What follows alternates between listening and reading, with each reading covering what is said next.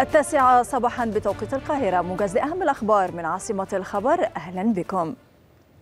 يجتمع وزراء خارجية الاتحاد الأوروبي لبحث التطورات في أوكرانيا.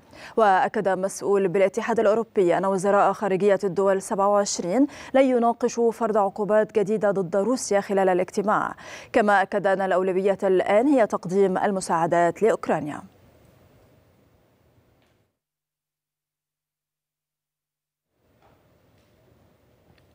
أكد الرئيس الأوكراني فلوديمير زيلينسكي أن توريد عشرات الدبابات إلى أوكرانيا لن يغير الوضع بشكل جذري. وقال زيلينسكي في مقابلة تلفزيونية إن توريد الدبابات يزيد فقط من تحفيز وحماس القوات الأوكرانية.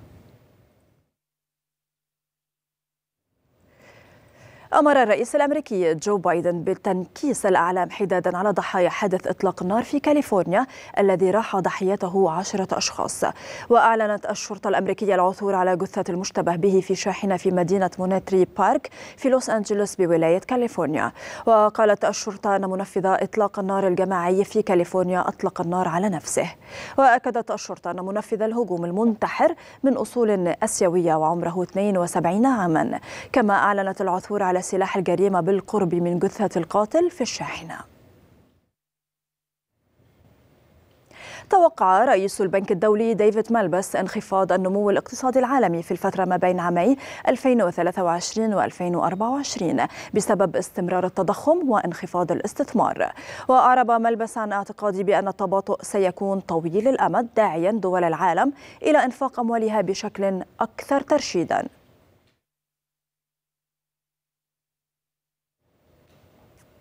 قالت وكالة الأنباء العراقية اليوم أن رئيس الوزراء محمد شياع السوداني أعفى محافظ البنك المركزي مصطفى غالب مخيف من منصبه بناء على طلبه.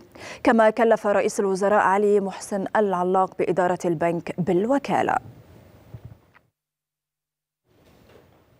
سلطت وسائل الإعلام البريطانية الضوء على تضرر الأشخاص ذوي الإعاقة من أزمة تكلفة المعيشة في المملكة المتحدة حيث أظهرت أبحاث أن الأشخاص الذين يعانون من إعاقات شديدة وظروف مزمنة يعانون من ارتفاع فواتير الطاقة ما يؤثر على مصروفاتهم على الغذاء بالإضافة إلى إجبارهم على الحد من تلقي المساعدات والمعدات الطبية الكهربائية الحيوية كثيفة الاستخدام للطاقة ما يعرض صحتهم للخطر.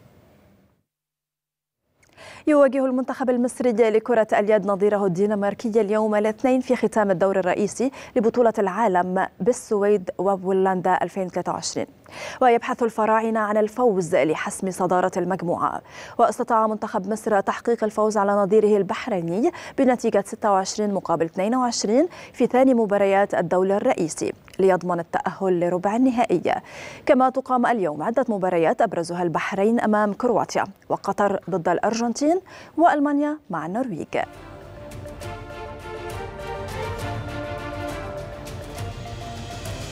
كان هذا ختام الموجز. لمزيد من المتابعة يمكنكم زيارة موقعنا الإلكتروني القاهرة news dot net.